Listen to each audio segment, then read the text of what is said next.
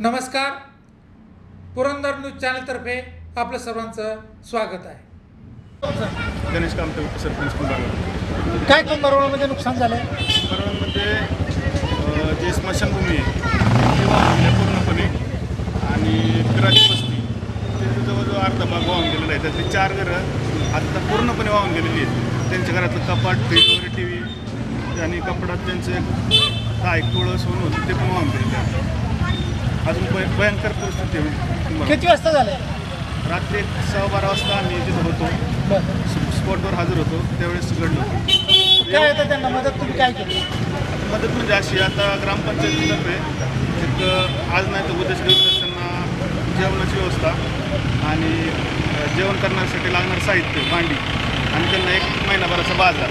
किती कुटुंब आहेत अशी?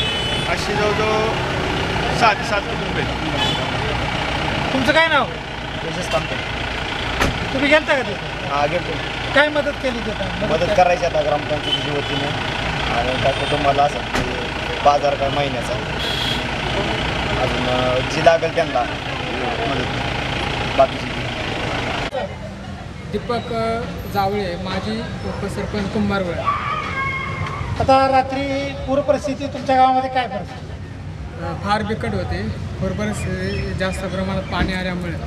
कुंभारवाड्यामधील पिराच्या माळा म्हणून एक वस्ती आहे. त्या वस्तीवरले साधारण तीन घरं वाहून गेली आणि खूप नुकसान झालेलं आहे तिथं. आणि एक पाच सहा गाड्या टू व्हीलर वाहून गेल्यात. एक विको गाडी आहे दहा भाड्यांची ती पण वाहून गेलेली आहे आणि खूप नुकसान झालेलं आहे. तिथं कोण अधिकारी आलेत का आतापर्यंत? तिथं राज्यमंत्री विजय शिवतारे आलते.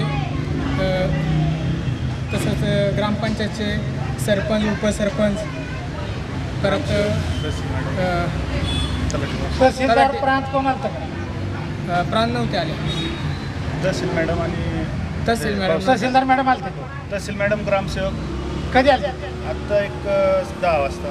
बरं. आणि राज्यमंत्री विजय बापू शिवतराव आता तातडीच्या मदत अद्याप कोणी काय तिथे केलेलं नाही. नाही अजून नाही जाहीर केलं. पंचनामा करायला. ग्रामपंचायतीच्या मार्फत तातडीची मदत पोहोचली ठीक.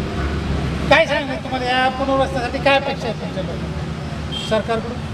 सरकारने लवकरात लवकर ज्यांची नुकसान झाली त्यांना मदत करावी हीच अपेक्षा आहे ग्रामस्थांची.